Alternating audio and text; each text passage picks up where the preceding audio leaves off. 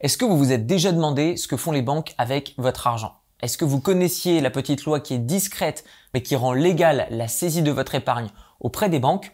Que se passerait-il en cas de faillite bancaire ou en cas de crise boursière de votre épargne et enfin comment se protéger contre tous ces phénomènes.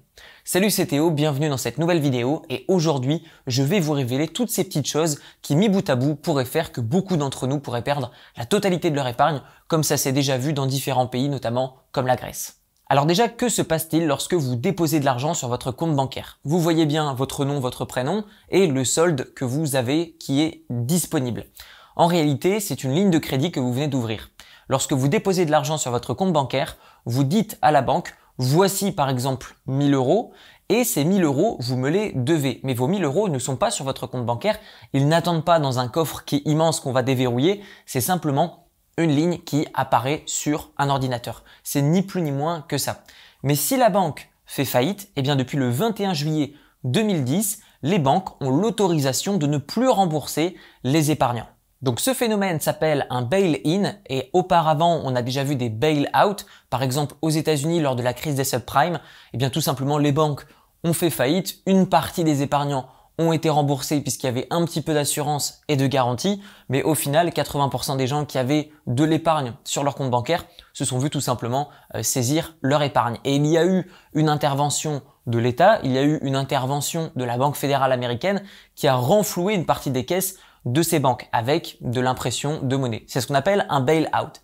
Et donc cette loi finalement du 21 juillet 2010, c'est une autorisation au bail-in. Ça veut dire d'utiliser finalement l'argent qui est en interne à l'entreprise qui est la banque, puisqu'il ne faut pas oublier qu'une banque, ce n'est plus ni moins qu'une entreprise financière. Et comme tout type d'entreprise, elle peut faire faillite. Et comme tout type d'entreprise, eh bien, si elle fait faillite, elle peut saisir finalement ce qui lui reste et elle n'a pas l'obligation à partir de maintenant, en tout cas depuis le 21 juillet 2010, de rembourser ses épargnants.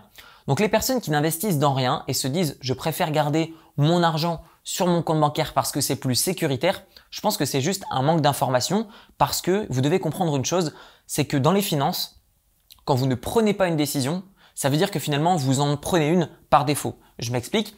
Si vous avez décidé de ne pas investir parce que vous ne savez pas dans quoi investir, eh bien finalement ça veut dire que vous avez choisi d'investir dans votre banque.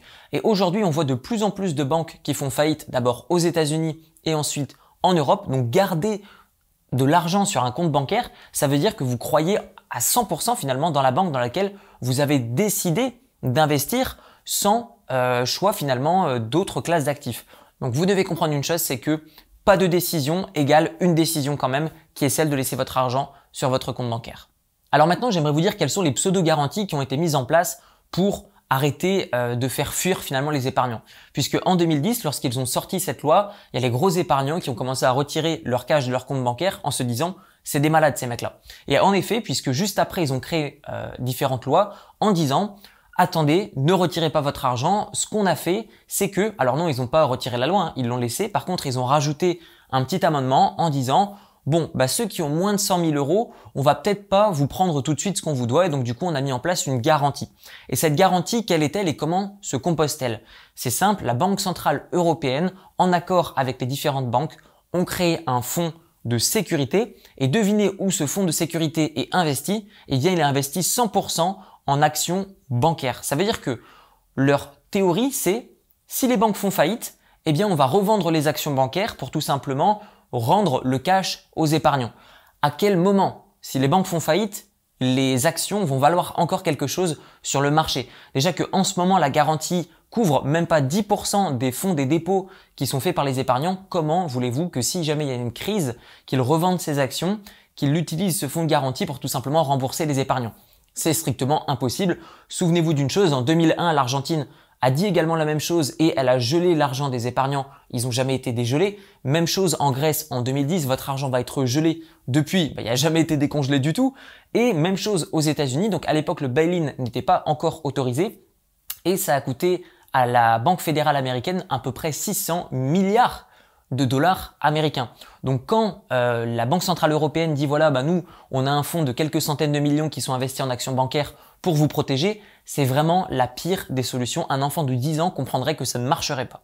Alors comment se protéger contre une crise bancaire? Eh bien c'est simple, il y a plusieurs choses qu'on peut faire. Déjà c'est exploiter la banque. Vous pouvez tout à fait, à un certain moment donné de votre vie, quand vous avez un niveau de revenu qui est stable, je dis pas important mais stable, vous pouvez tout à fait aller voir une banque et dire voilà, bah moi je souhaite emprunter de l'argent pour investir dans l'immobilier. Vous faites une première opération, donc pas les yeux bandés évidemment, apprenez à investir avant. Je vous mets dans la description de la vidéo une formation qui est gratuite sur l'investissement immobilier où je vous montre déjà de 1 comment faire pour emprunter de l'argent auprès des banques, donc faire des crédits à 110%, de 2 comment trouver des bonnes affaires, de 3 comment mettre un locataire à l'intérieur et vous protéger contre les impayés, parce que oui c'est possible, et de 4, comment faire pour ne payer aucun impôt sur la totalité de vos revenus immobiliers. Et oui, ça encore une fois, c'est tout à fait possible. Il s'agit simplement d'apprendre comment le faire. Donc ça, c'est dans la description de la vidéo. Donc déjà, la première chose que vous pouvez faire, c'est vous demander, OK, est-ce que dans mon cas, je peux emprunter de l'argent? Et pourquoi emprunter de l'argent aujourd'hui? C'est peut-être la chose la plus intelligente à faire. Des taux qui sont historiquement au plus bas, un marché immobilier qui n'arrête pas d'augmenter et qui n'arrêtera jamais d'augmenter pour la simple et bonne raison que nous sommes de plus en plus sur Terre tout le monde essaye de se réunir dans les centres-villes et tout simplement, bah, on est de plus en plus à travailler depuis chez soi et également nos revenus euh, vont avoir tendance à augmenter. Donc tout ça fait que, avec le temps, le prix de l'immobilier continuera à battre l'inflation, continuera à augmenter plus vite que votre taux de remboursement de crédit. Et donc, une fois que vous avez compris tout ça, bah, vous avez compris également que emprunter de l'argent aujourd'hui pour rendre moins demain, eh bien, c'est ce qu'il y a de plus euh, intéressant et c'est ce qu'il y a de plus logique. Et encore plus quand vous faites rembourser votre crédit par un locataire. Deuxième classe d'actifs, ça va être l'investissement en bourse, mais avec une petite spécification, limiter le secteur bancaire. Pourquoi? Parce qu'aujourd'hui, les plus gros investisseurs au monde sont vraiment le cul entre deux chaises. On ne sait pas trop quoi penser des banques avec l'arrivée des crypto-monnaies, avec justement toutes ces banques digitales qui arrivent. Est-ce que les banques traditionnelles vont survivre à cette compétition qui est extrêmement rude?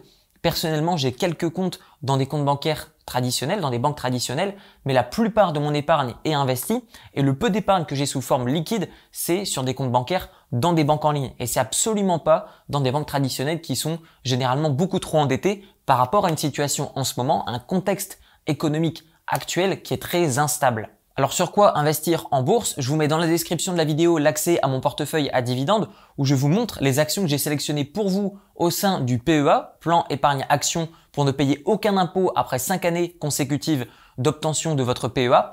De deux, je vais vous montrer comment faire pour investir sur des actions américaines. Je vais vous montrer mes propres actions qui me payent des dividendes. Et de trois, je vous fais une vidéo d'analyse mensuelle des marchés financiers où je vous montre justement mon point de vue, ce que j'achète, ce que je vends, là où est-ce que parfois je vais renforcer une position, là où est-ce que parfois je vais alléger une position, tout ça dans une vision de sécurisation, de protection contre le risque et évidemment aller chercher du rendement. Et enfin, troisième classe d'actifs, ça va être les crypto-monnaies sur lesquelles je suis exposé à moins de 5% de mon patrimoine. Et plus vous y croyez, plus vous vous y connaissez, plus vous pouvez augmenter votre exposition. Mais s'il vous plaît, n'allez pas all-in dans cette classe d'actifs, n'allez même pas à hauteur de 50%, puisque si votre but c'est de vous enrichir sereinement sur le long terme, si votre portefeuille fait des backflips et fait des montagnes russes tous les jours, votre cœur risque de battre toute la journée et puis votre sommeil risque d'être impacté. Donc investissez en fonction de ce qui vous euh, fait sentir serein, de ce qui vous permet de vous sentir rassuré. Mettez votre argent où est-ce que vous pensez qu'il est à l'abri. Et en fonction de votre vision, vous allez avoir évidemment une allocation de votre patrimoine qui va être différente. Si je devais récapituler, aujourd'hui, la banque, c'est certainement le pire endroit où laisser votre argent pour deux raisons. L'état financier des banques traditionnelles et deux, ça va être l'inflation qui n'a jamais été aussi haute depuis une trentaine d'années. Donc je vous invite à prendre en compte ces deux éléments et vous dire, ok, est-ce qu'aujourd'hui, garder mon argent sur un compte bancaire, c'est la meilleure chose? Non, je pense personnellement que c'est la pire des choses à faire. Et investir, même dans les crypto-monnaies à 100%, je pense que c'est mieux que de laisser son argent sur votre compte bancaire. Pourquoi? Parce que c'est certainement une chose qui, plus le temps va passer, plus va grignoter votre pouvoir d'achat et au fur et à mesure du temps, vous allez vous y rendre compte quand il sera peut-être trop tard. Bref, toutes ces aides que je vous propose sont dans la description de la vidéo. Je vous dis à très bientôt dans une prochaine vidéo. Ciao ciao